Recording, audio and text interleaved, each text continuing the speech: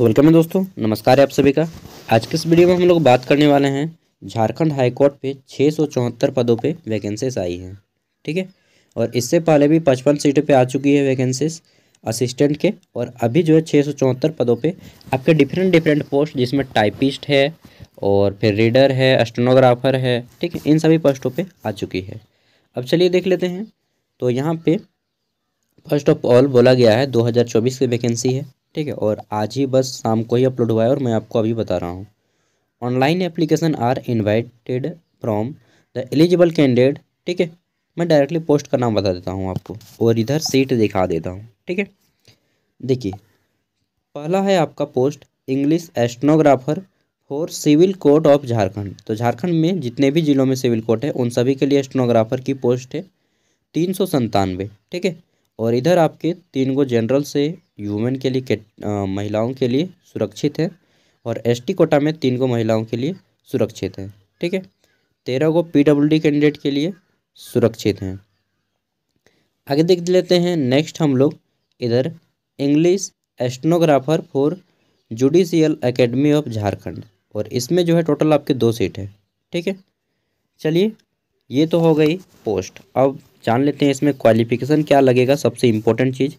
उसके बाद जानेंगे कि इसका जो है ऑनलाइन फॉर्म वगैरह और तो ऑनलाइन फॉर्म ही पहले दिया गया है। फॉर्म भरने का स्टार्टिंग डेट आपका एक मार्च है, एक मार्च 2024 और फॉर्म भरने का लास्ट डेट है आपका 31 मार्च 2024 ठीक है?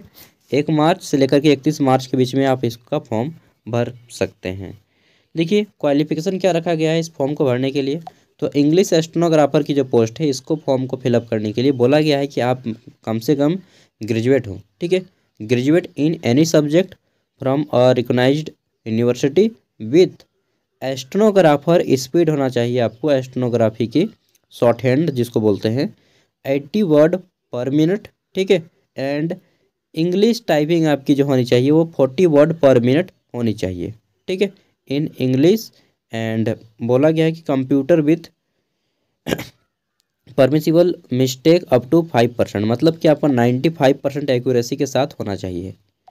तो यहाँ पे तो थोड़ा सा टफ मांगा है भाई। कम शॉर्ट हैंड भी और टाइपिंग स्पीड भी, ठीक है? पे मैट्रिक्स लेवल फोर और यहाँ पे बोला गया है the seventh P R C के अकॉर्डिंग आपका सैलरी पच्चीस हज़ार पाँच सौ से लेकर के इक्यासी हज़ार एक सौ के बीच में रहेगा, ठीक है? देखिए, पहले ये जो है, आपका शॉर्ट हैंड सिक्सटी वर्ड रहता था और typing speed thirty five word लेकिन कंपटीशन जैसे जैसे बढ़ रहा है तो इन्होंने अपनी क्वालिटी और भी डिमांड करने लगी, ठीक है? ये हो गया। देख लिए दोनों के लिए क्वालिफिकेशन यही है जुडिशियल एकेडमी और स्टेनोग्राफर के लिए। मैंने बता भी दिया कि आपको चाहिए फॉर्म फिलअप और अब चलिए नेक्स्ट वैकेंसी के ऊपर चलते हैं, उसके बाद सब कुछ बात करेंगे। एग्ज़ाम वगैरह के बारे में, ठीक है? और यहाँ पे आपका, मैक्सिमम आदमी तो आप फॉर्म नहीं फिलअप कीजिएगा ना। आगे देख लेते हैं नेक्स्ट पोस्ट, जो को वैकेंसी आई है इसके ऊपर। तो देखिए, यहाँ पे हमारा दूसरा वैकेंसी आ जाता है, यहीं से हाई कोर्ट ऑफ़ झारखंड की ओर से, ठीक है? और यह भी कल ही आया था, शाम को। देखिए, पहला पोस्ट है आपका यहाँ पर टाइपिस्ट के। टाइपिस्ट ठीक है? कॉपिस्ट के। और ये आपका सिविल कोर्ट में है। टोटल सत्रह का पोस्ट है इधर। नेक्स्ट हमारा यहाँ पे दूसरा पोस्ट जो है कोर्ट रीडर है, कम डिपोजिशन राइटर ठीक है? और ये आपका नगर उटारी जो कि गढ़वा में है, फिर आपका चांडिल जो सरिकला खारसवा में है एंड रामगढ़ में फैमिली कोर्ट इन सभी में है। यहाँ पे टोटल आपके चौदह सीटें हैं फोर्टीन ठीक है? और अंतिम में आता है आपका डिपोजिशन टाइपिस्ट, सिविल कोर्ट का। और इसमें आपके टोटल दो सौ अठारह सीटें हैं। कितने? दो सौ अठारह, ठीक है? और ये आपका जनरल से एगो सीट महिलाओं के लिए आरक्षित है और पीडब्ल्यूडी कैंडिडेट में पाँच गो सीट आरक्षित है। ये हो गया।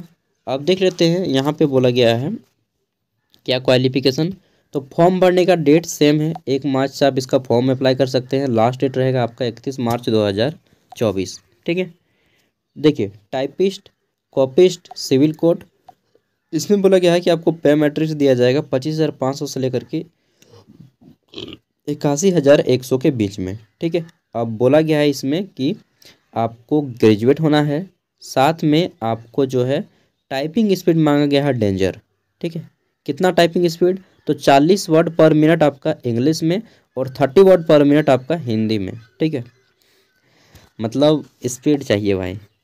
ठीक है? मतलब ऐसा स्पीड कि गाना चलता है और आप उसको टाइप करते जाएँ। ठीक है? उधर गाना बज रहा है, उसको आप टाइप करके लिख दें, उतना स्पीड चालीस वर्ड मायने रखता है, ठीक है?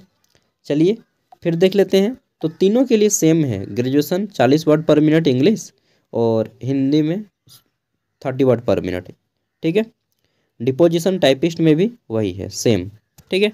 तो ये है क्वालिफिकेशन जो कि यहाँ पे इन्होंने क्या बोलते हैं जैसे सीजीएल से भी सी एच एस एल से भी थोड़ा सा टफ रखा है। ठीक है? और यहाँ पे थोड़ा सा क्या, बहुत ही ज़्यादा टफ रखा गया है, ऑनलाइन फॉर्म फिलअप हो गया। अब चलिए हम लोग एक थोड़ा सा देख लेते हैं सिलेबस कि क्या आएगा एग्ज़ाम में। फॉर्म भरने के फ़ीस भी इन्होंने डेंजर रखा है, पाँच सौ रुपया, ठीक है? और यहीं पे S T S C and female candidate को sorry only S T S C candidate को यहाँ पे एक सौ पच्चीस रुपया देना पड़ेगा फॉर्म फ़ीस, ठीक है? बाकी सबको पाँच सौ रुपया फॉर्म फ़ीस लगेगा। आगे देख लेते हैं नेक्स्ट तो क्या है नेक्स्ट हमारा? एग्ज़ाम एग्ज़ाम देखिए एग्ज़ाम के बारे में इन्होंने बताया है कि आपका इंग्लिश टाइपिंग स्किल टेस्ट होगा। सबसे फ़र्स्ट यहाँ पे आपका जो है test of typing ninety marks का रहेगा, ठीक है? एंड यहाँ पे बोल लिया गया है कि पर्सनालिटी टेस्ट होगा आपका, यानी कि इंटरव्यू वह दस मार्क्स का रहेगा। मतलब कुल मिला के एक सौ मार्क्स और यहाँ पे बोला गया है कि इंग्लिश टाइपिंग स्किल टेस्ट जो होगा, इसमें आपका टाइपिस्ट में एक मिनट रुकिएगा। अब देखिए, यहाँ पे इन्होंने बोला है कि चालीस वर्ड पर मिनट के हिसाब से आपको पाँच मिनट में दो सौ वर्ड टाइप करना है। ठीक है? पहला टारगेट ये है और दूसरा है फिर आपका हिंदी में। हिंदी में बोला गया है कि आपको दस minute per minute sorry thirty word per minute के हिसाब से दस मिनट में तीन सौ वर्ड टाइप करना होगा। ठीक है? ये है। नेक्स्ट तीसरा इन्होंने क्या बोला गया the candidate are advise to consist type तो देखिए, जब आप ये दो सामना कर लेंगे, ठीक है, दो सिचुएशन देन आपको इंटरव्यू के लिए बुलाया जाएगा, ठीक है? ये दोनों क्वालिफाई करने के बाद, और जितनी वैकेंसी है उसका तीन गुना। यहाँ पे क्या बोला गया है कि out of successful candidate of typing skill test candidate of only three times कितने टाइम्स तो थ्री टाइम्स जितने वैकेंसीज हैं उसका तीन गुना कैंडिडेट को इंटरव्यू के लिए बुलाया जाएगा, ठीक है? फिर बोला गया था typing skill test shall be taken on computer which shall be provided by the examining examining authority तो देखिए आपको जो भी अथॉरिटी द्वारा दिया जाएगा उसको टाइप करना होगा। ये तो हो गया टाइपिस्ट के लिए।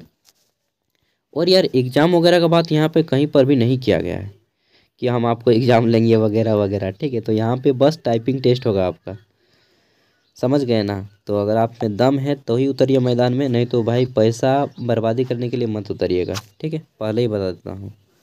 आगे देख लेते हैं थोड़ा सा एस्ट्रोनोग्राफ़र का क्या बोला गया है।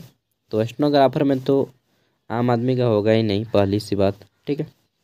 और अभी क्या है कि जितने आदमी फॉर्म अप्लाई करने वाले हैं ना, और उतने वैकेंसीज नहीं आती हैं, और इतना आदमी प्रचार करेगा, अरे बाप, ये है, वो है वैकेंसी, वीडियो बनाएगा हज़ार को तो यहाँ पे तो देखिए, आपको भी यहाँ पे कुछ खास नहीं बोला गया है, बस एक नोट दिया गया है, ठीक है, कि आपको जो प्रोवाइड किया जाएगा एग्जामिनर के द्वारा अथॉरिटी उसमें आपको टाइप करना होगा, ठीक है एंड शॉर्ट हैंड जो है तो यहाँ पे कोई एग्ज़ाम नहीं होगा, बस आपका स्किल टेस्ट होगा इंटरव्यू होगा, और आपको यहाँ पे सिलेक्शन दिया जाएगा, ठीक है।